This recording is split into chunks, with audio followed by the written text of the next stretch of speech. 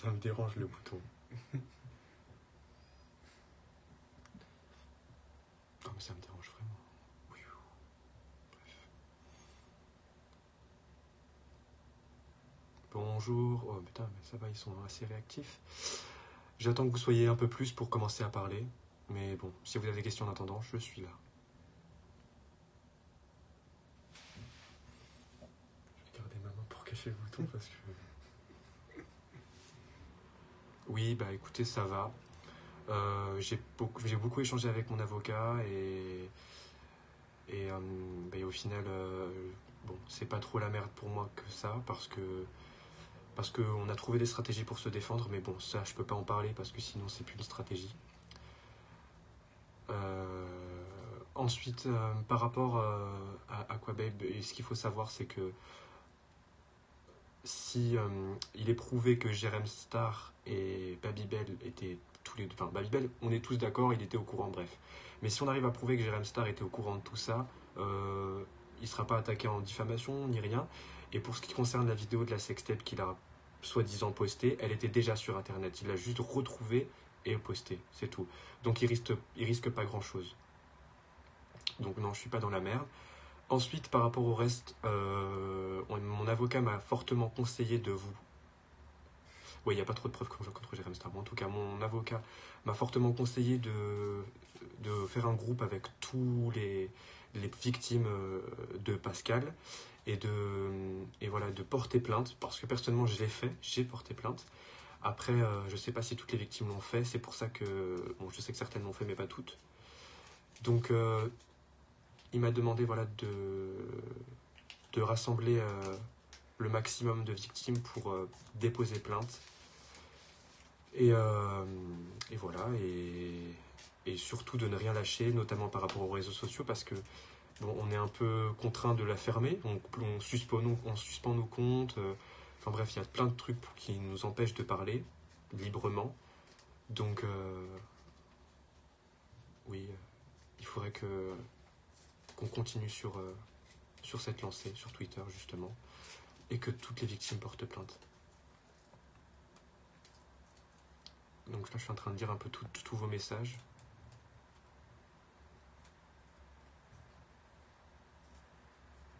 N'hésitez pas à me poser des questions.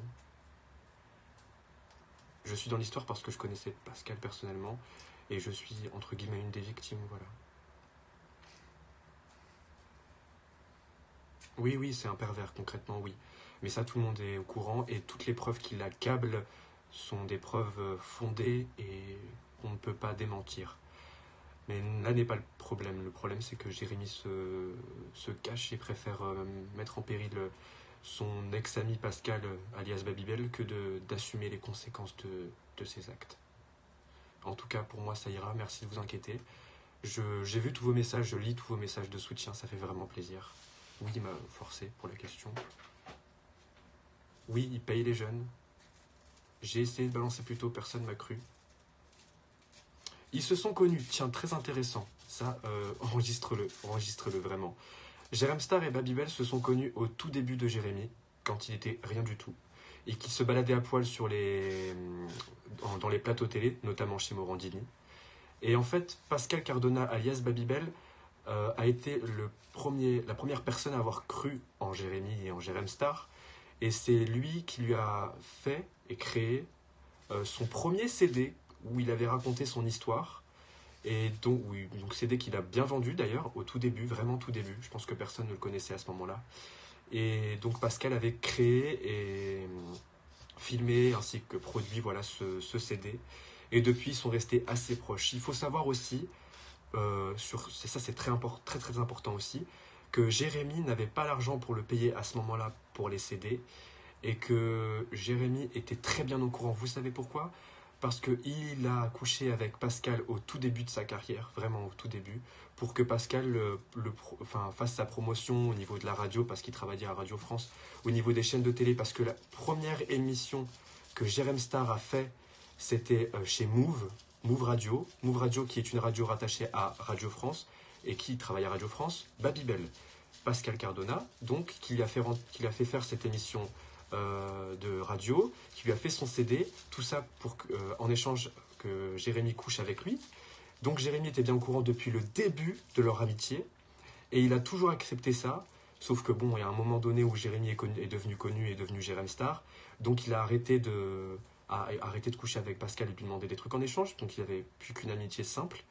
Et c'est à partir de ce moment-là où Pascal a commencé à devenir le, personnage Babybel et a invité des jeunes chez lui pour, euh, pour notamment voilà, euh, des soirées soi-disant euh, avec Jérémy, mais surtout pour les sauter. Quoi. Et ça, c'est une information que personne ne sait. Et je vous raconte tout ça parce que je le sais. J'en ai des preuves, je posterai peut-être, mais avec les preuves, je vais quand même, quand commencer à me calmer parce que j'ai pas trop envie d'avoir de problèmes au niveau de la justice, mais tout ce que je vous ai raconté est véridique. Vous pouvez aller le vérifier sur Internet. La première émission de radio-télé que Jérémy a fait, c'était Move. C'était grâce à Pascal Cardona. Et le CD qu'il a fait, c'était aussi grâce à Pascal, parce qu'il l'a produit et créé et vendu pour lui. Voilà. Donc, euh, donc tout ça pour dire que non, il lui a pas mis le couteau sous la gorge, mais que Jérémy était très bien au courant de ses agissements, puisque c'était depuis le début de leur amitié, il y a des a au moins dix ans, vraiment. Donc il était très très bien au courant. Donc faut le savoir ça. Au niveau des menaces, j'ai reçu des menaces de la part des avocats de Jérémy, d'une avocate en tout cas, euh, et, de, et de, des personnages qui l'entourent, qui ont certains déposé plainte à cause des appels téléphoniques que j'ai que j'ai mis en ligne sur mon ancien compte Twitter.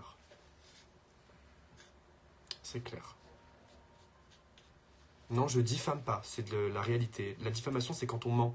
Là, je diffame pas, je dis des choses qui sont réelles que vous pouvez tout de suite vérifier sur Internet. Voilà.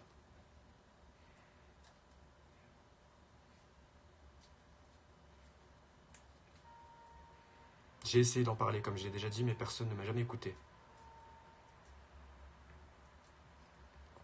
Enfin bon. Les partenariats, de Jérém Star vont pas forcément continuer. Tout dépend de la finalité de l'affaire. Il faut que vous sachiez que tout est actuellement en pause. Tout est en pause euh, au niveau de Jérémy. Il a coupé tout, il est complètement déconnecté et il attend que l'affaire passe pour euh, essayer de euh, revenir sur le devant de la scène. Mais pour le moment, n'attendez pas de réaction de sa part.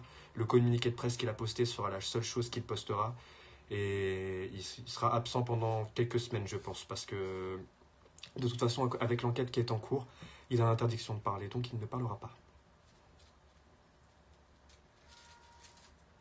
Comment je peux prouver? Ça, c'est quelque chose que je ne peux pas vous révéler, mais qui fait partie du dossier euh, de plainte. Parce que sachez que quand on paye quelqu'un, on ne paye pas forcément en espèces, on le paye possiblement en virement. Donc, voilà, c'est tout ce que j'ai à dire. À vous de réfléchir sur ce que j'allais dire pour la suite.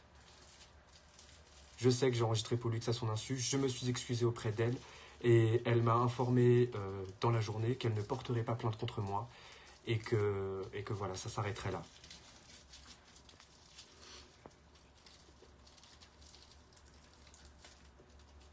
La vidéo de Jerem Star a été diffusée il y a bien longtemps et Jerem Star était conscient de ce qu'il faisait à ce moment-là.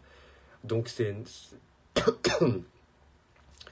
Elle est simple à récupérer quand on a les contacts, il faut le savoir.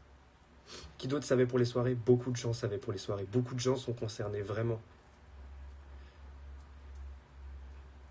Enfin bon. Non, la sextape avec Babybel, c'était pas bidon, mais bon.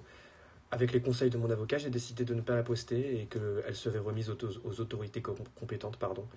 Et que c'est plutôt à la police et à la justice de décider de, de ça et je n'ai pas posté ça sur Twitter. C'est pour ma, pour ma sécurité. La salopette ne, désire plus parler. Je l'ai eu au téléphone. Euh, avec ce que j'ai posté sur lui, c'est un peu énervé. Et il se trouve qu'il fait partie des personnes qui ont déposé plainte contre moi.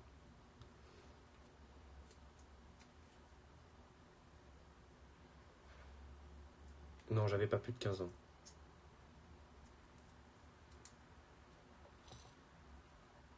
Oui, je connais la chauve-souris.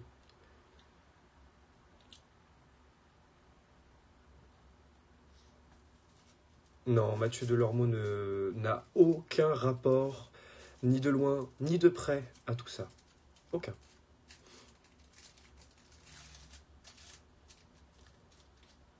Écoutez, euh, je dois vous laisser. En tout cas, sachez que je reste disponible sur Twitter, donc postez-moi toutes vos questions et j'essaierai d'y répondre euh, le mieux possible. Sinon, restez connectés aussi sur C8. TPMP va parler de ce Jérém Stargate, donc restez connectés sur, sur euh, mon Twitter et euh, également sur C8. Bisous